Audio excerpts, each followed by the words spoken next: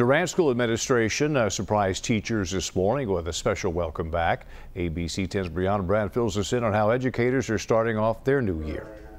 Summer comes to a close as Durant ISD teachers and admin prepare for the first day of school this week. Educators were greeted Tuesday morning in front of the high school with a crowd lined up with signs welcoming back teachers with a red carpet walk.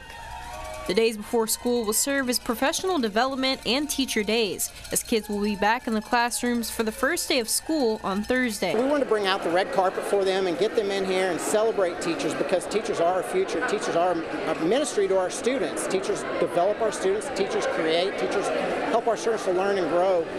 This will be Mooring's first year as superintendent for Durant ISD after serving the same role for Davis Public Schools. Tonight at 10, we'll hear from a Durant ISD teacher and parent about what they're looking forward to for this school year.